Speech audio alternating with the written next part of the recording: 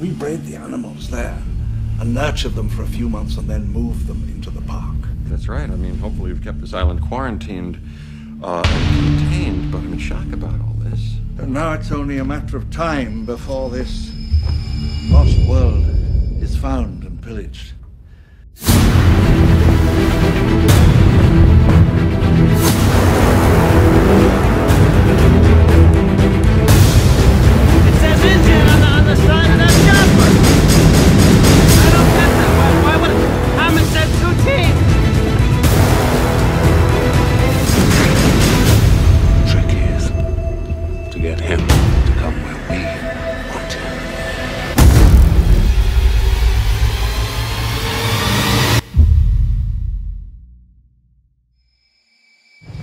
This isn't hunting behavior, Ian.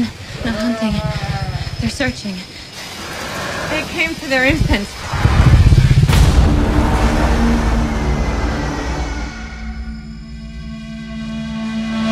Hang on, this is gonna be bad.